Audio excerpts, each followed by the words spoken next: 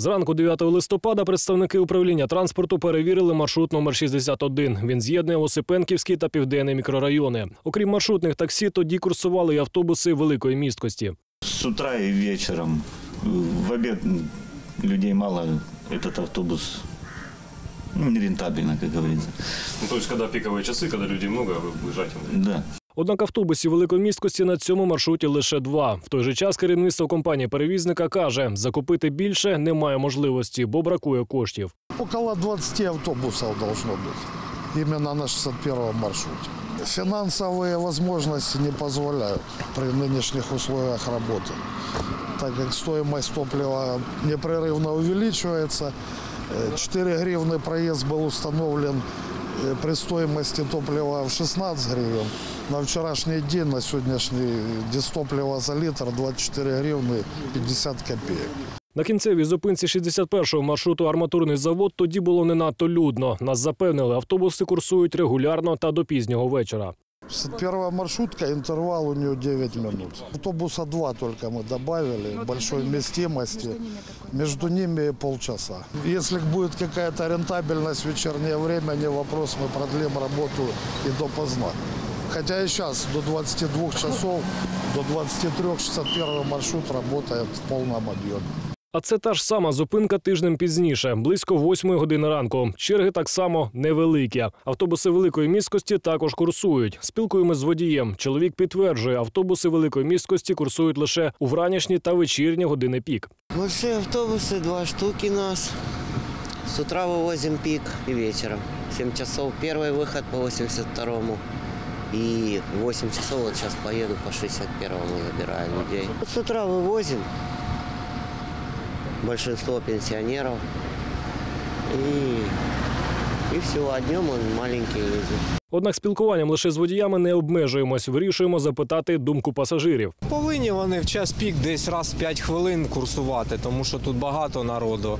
А так вони бувають і 30 хвилин не приходять.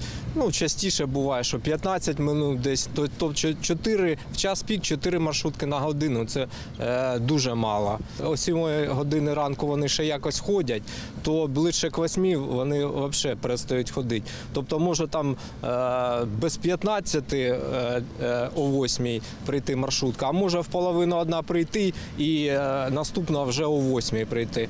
Під час рейду при спілкуванні з керівництвом компанії запитували і про зворотній зв'язок між пасажирами та перевізником, у тому числі і про можливість залишити скаргу або побажання. Есть телефоны в салонах автобусах, развешаны наш адрес, наши телефон.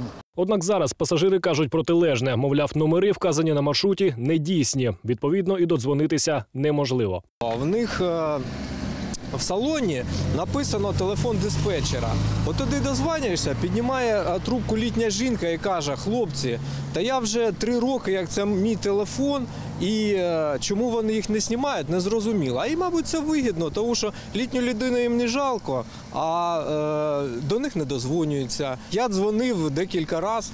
По цій е, об'яві, що там в салоні, там літня людина піднімає трубку, каже, це приватний телефон.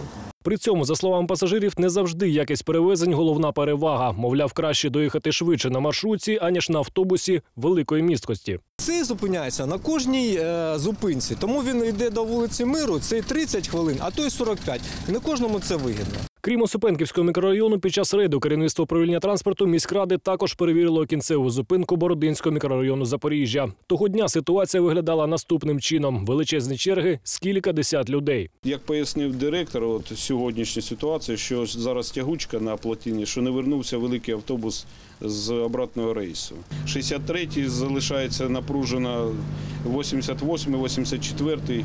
Ці маршрути, 81-й, ці на- маршрути, на жаль, зараз ще є проблема. Я збираю нараду з перевізниками, будемо піднімати це питання вже сьогодні.